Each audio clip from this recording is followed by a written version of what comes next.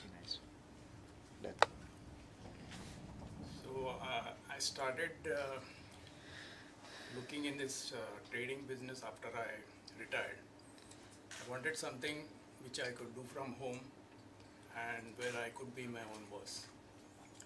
Uh, this was uh, Prashant's uh, training was not the first one I attended. I have been to some other institutions also but uh, after going through those uh, uh, learnings, I found that taking trades, I still found it very difficult. And when I saw uh, the posts uh, Prashant used to uh, do on the WhatsApp group, I found him very different.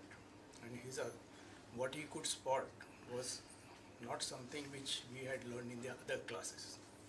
So I decided to, once I remember telling him that in case, in, uh, in those days I didn't know whether he would go in for training or something like that.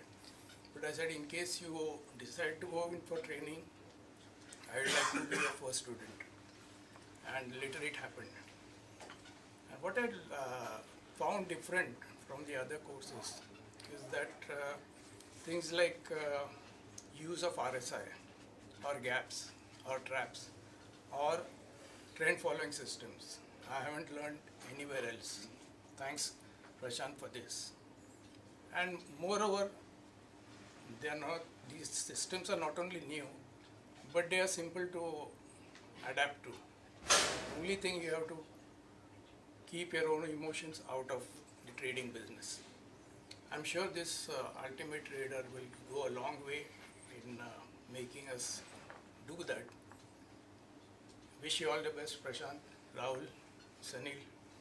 Thank you. Thank you.